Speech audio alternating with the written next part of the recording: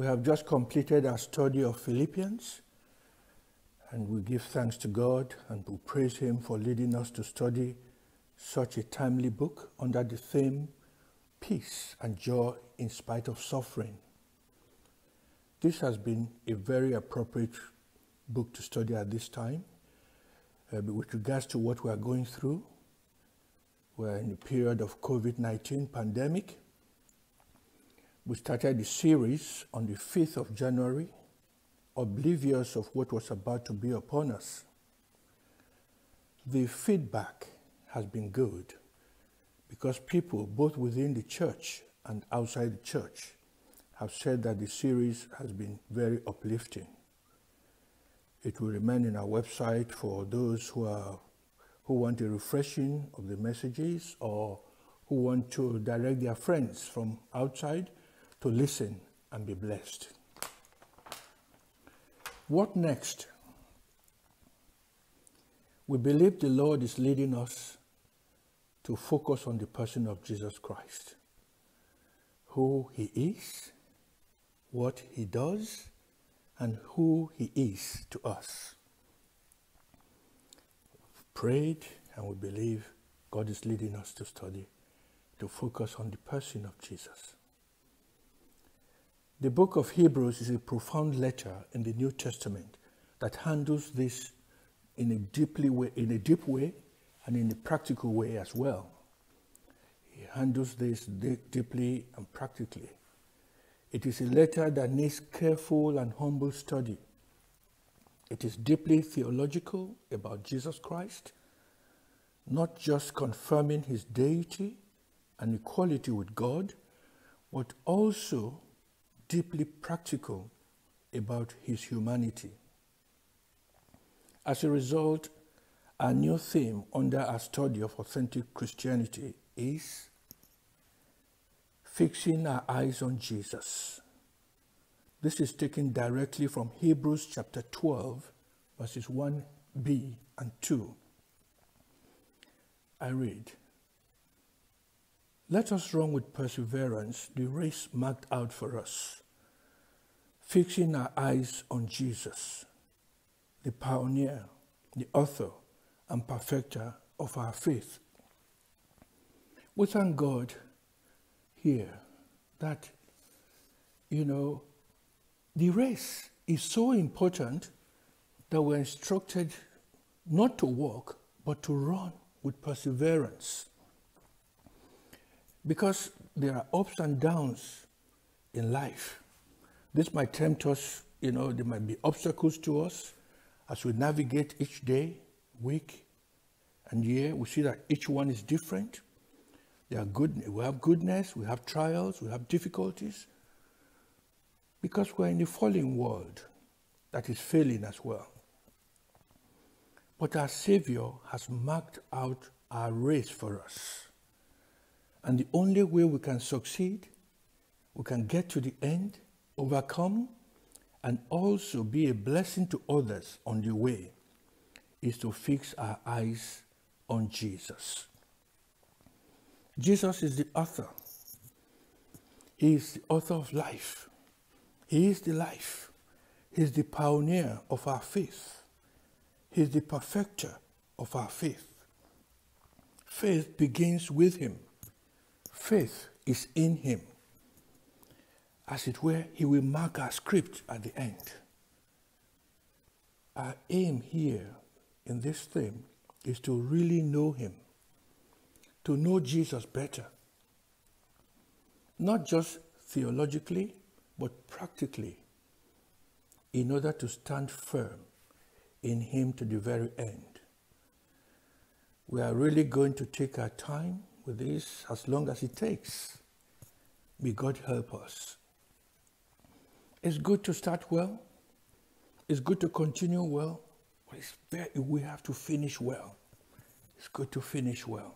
We can't say that enough. There's a lot of speculation about who wrote the book of Hebrews, the letter of Hebrews, who wrote it, and to whom it was written. We will ignore all the speculation. If the Holy Spirit considered it important, He would have made these things clear as with other letters in the New Testament, like John's Gospel was written by John, Matthew's Gospel was written by Matthew, Mark's Gospel was written by Mark, Luke's Gospel was written by Luke. But the most important thing here is that it's in the Bible. So it is written to all of God's people, including you and me, if we have repented of our sins and put our faith in Jesus. As we read through the book of Hebrews, a pattern emerges. There are facts about Jesus and implications for believers. There are warnings about the cost of not listening and obeying Jesus. And also, there's encouragement to listen and obey, resulting in great blessings.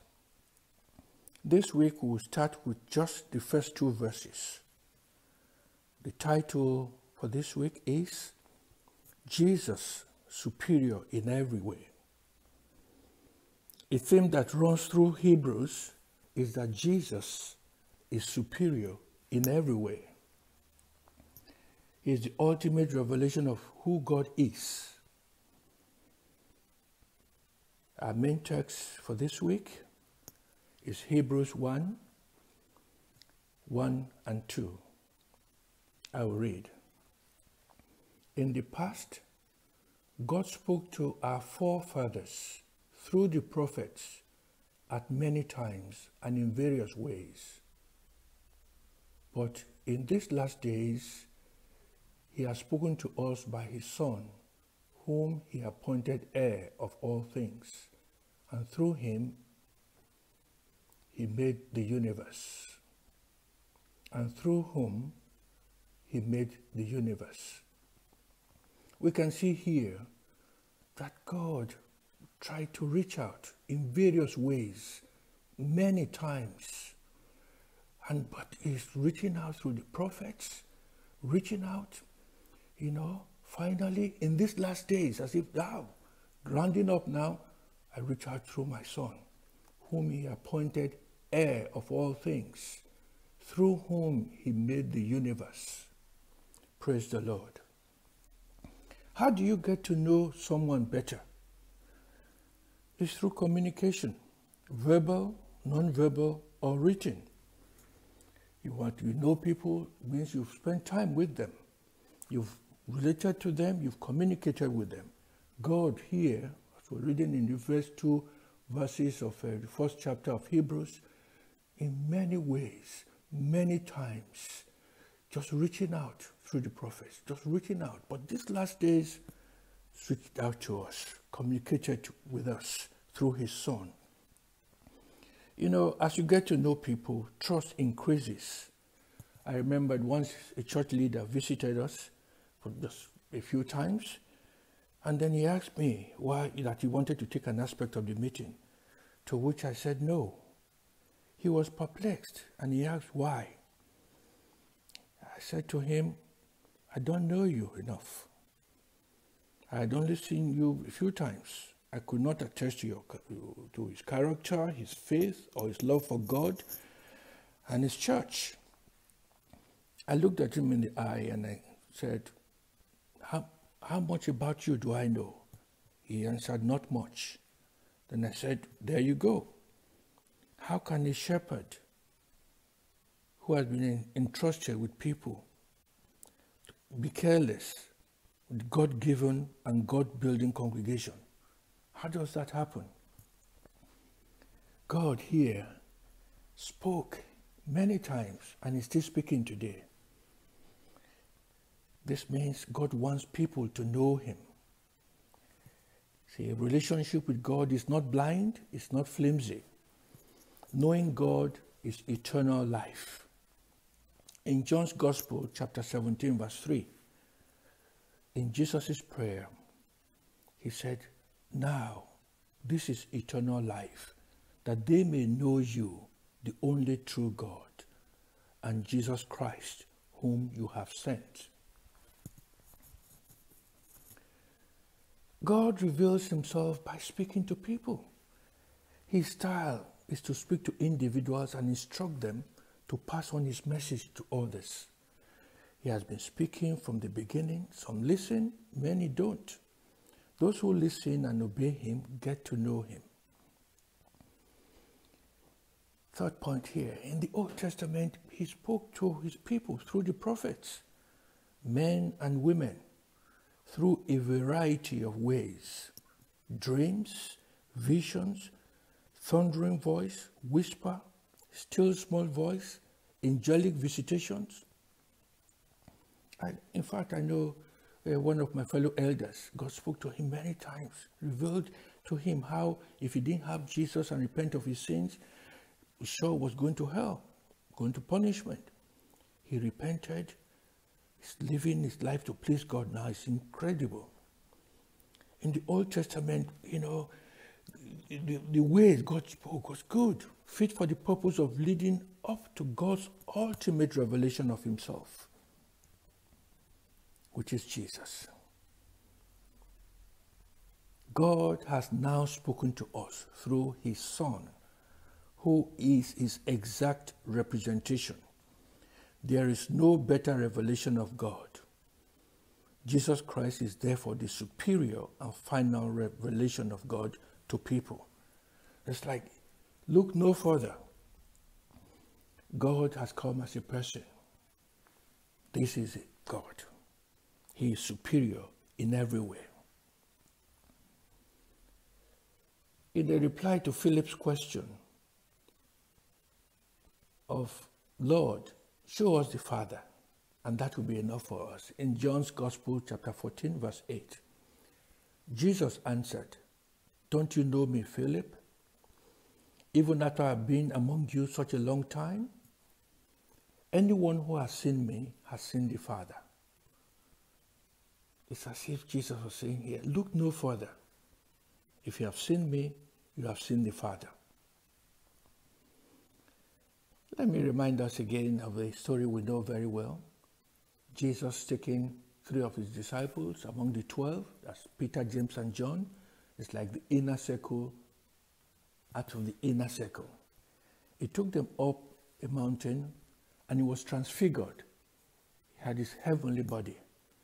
His face shone like the sun, and his clothes were as light, bright as light. And Moses and Elijah appeared talking to him. Wow, that was his sight. In verse 4, Peter said to Jesus, Lord, it is good for us to be here.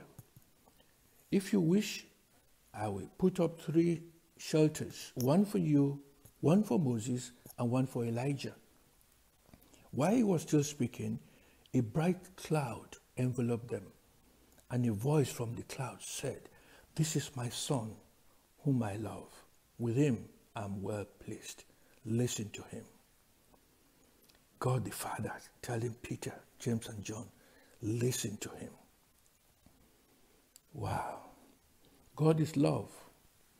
God, who is love, is saying, This is my son, whom I love. With him I'm well pleased. Listen to him. Like they say, obey the last order. Who should we listen to now?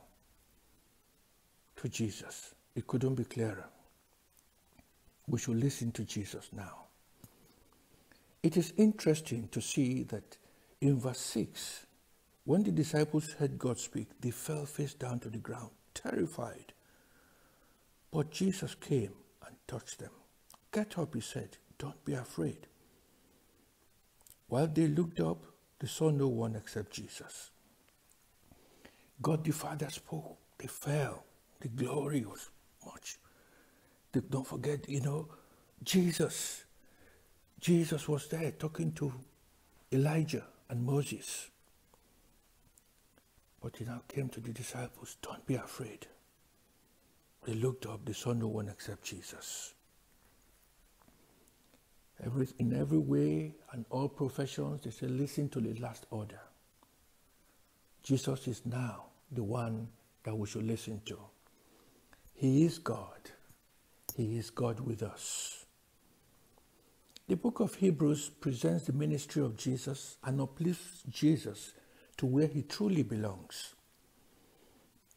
For instance, let us imagine the government's order of social distancing, which, you know, many of us, or most all of us have been practicing.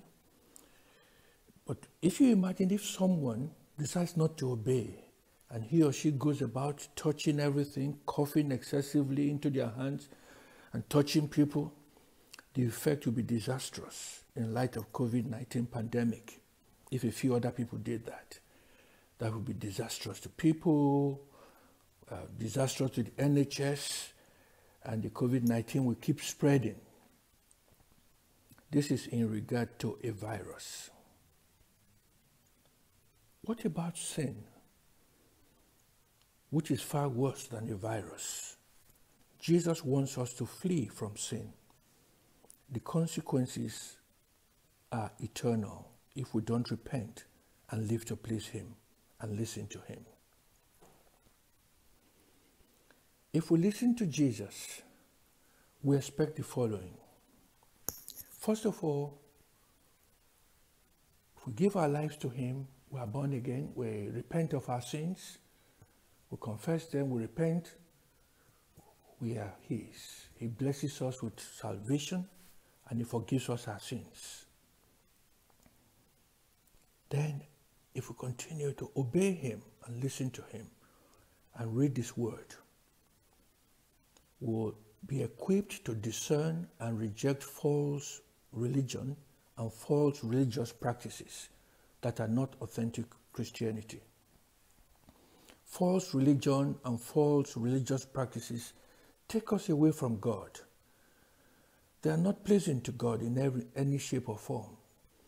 They are unacceptable to God as fake money is to us. Anything false is counter to the holiness of God. Imagine having a bottle of water. When you buy a bottle of water, you know, these days from the supermarket, you keep go, go after maybe you, you wash the bottle as we do now, and then uh, keep it in the fridge. Later you open it and just drink. If you imagine another bottle that looks exactly like the one you just had, but has been polluted, but looks the same from outside. Many pollutants now are colorless. Some are even tasteless, but they can kill you or they can injure you. That is bad. Things that are not authentic are not good for us. Also imagine yourself buying a house and uh, having a mortgage for 25 years, working hard, and just as you're about to finish paying for the mortgage, uh, just as you just finished paying the mortgage and you're expecting the papers, then you hear the news that the original seller, the person that sold it to you, was fake, that the real seller was living in a different country, and that the, even the solicitor that uh, did the transaction and the estate agent have folded, no longer, they're dead, they're no, no longer there. Imagine the disappointment. Now you have fake document. Even if the person likes now, he can ask you to pay rent for 25 years. It is horrendous. Fake things and false things are dangerous and they have very bad consequences as well. Second point, if we listen to him, we will understand the rest of Scripture better in their context. For instance, the book of Leviticus, which most people find difficult, will become clearer. Will become clearer. We want things to be clearer, we want to understand them clearer, and we listen to Jesus. Let me tell you a story. And, uh, you know, many years ago, I went to bring solace to a woman who was 70 years old and had just lost her mom. She was the first child and she had three siblings um, who were younger than her. Just as I greeted her, she started giving orders that her mother's obituary should be published in a local newspaper. She told the newspaper, the newspaper advert officer that her mother's age was 150 years old. To which I interjected by saying, Are you sure of what you have just said? I went on to explain to her that that meant that her mother had her at 80 years old and still went on to have three other children. There was a long silence. Then she revised the age to 96 years. In Christ, there's no white, pink, brown, or black lie. Sin is sin. Sin needs to be confessed, repented of, and God will forgive. In her local culture, it was okay to show that her mother had lived very long, but it was not okay to tell a lie. Jesus lived a holy life, and by keeping our eyes on him, after repenting of our sins, the Holy Spirit will help us through the ongoing sanctification, encouraging us, correcting us, disciplining us, disciplining us, and leading us up unto glorification. That's what we want. We thank God that Jesus came and died for us. But apart from dying, he lived the life we should have lived, a holy life, and is helping us through his Holy Spirit. If we give our lives to him and keep our eyes on him, we'll be on track to glorification. As we keep our eyes on Jesus, we'll become very comfortable with, say, um, Bible passages like, uh, Search me, O Lord, and know my heart. Test me and know my anxious thoughts, and see if there's any offensive way in me, and lead me in the way everlasting. Psalm 139, verses 23 and 24. If we feel convicted of any wrongdoing, ask for forgiveness. Once you are alive, you know, just quickly ask for forgiveness. You know, in 1 John 1 9, we're told that if we confess our sins, if we agree with God that we are wrong, we confess to God that He is faithful and just to forgive us our sins and purify us from all unrighteousness. Jesus wants to lead us to everlasting peace and joy. At this very time, we all await the lifting of the stay at home order.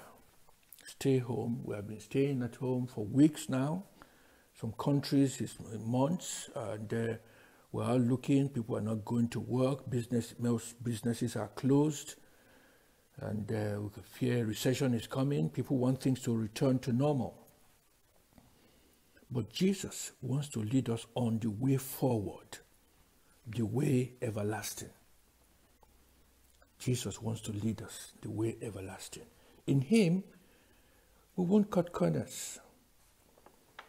We will learn to know Him. He's holy. He will lead us and He will direct us. The third point if we listen to Jesus, we stop being spiritual babies forever who are constantly needing basic information that is described in the book of Hebrews as milk let me paint a picture here. It is painful to imagine a healthy adult who is not physically challenged or is not emotionally challenged at all, lying around or maybe sitting at table using the feeding bottle like a baby. That is not on. And a baby is a baby, and as we grow, we learn to eat you know, more solid food. We will be inspired to press on towards maturity as we listen to Jesus.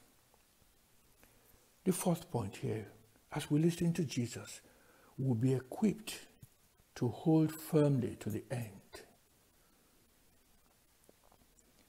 If you don't stand firm in your faith, you will not stand at all. It is vital to finish well. I close with uh, when I had uh, I was to be I, I was the third leg of a relay race, 4 by 400 meters, for those of you who like athletics. And um, that was the third leg. The first leg did well. At the second leg, the person that was going to run the second leg was about to take the baton. He stepped back.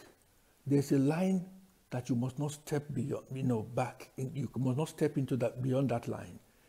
You must not go backwards. He stepped back to take the baton. As soon as he did that, I knew that we were disqualified. And we did, we were disqualified. He stepped back. There is a line. There was a line. He was not supposed to step back. He knew the rules. It is vital to finish well. Don't step backwards. Jesus Christ will help you, will help us to keep our eyes focused, and that is the way we overcome, fixing our eyes on Jesus. From next week, we'll start with a four part mini series titled Fully God and Fully Man, based on Hebrews chapters 1 and 2 please, I will encourage you to read through these two, two chapters before next Sunday. And I say, God bless you all abundantly. Thank you.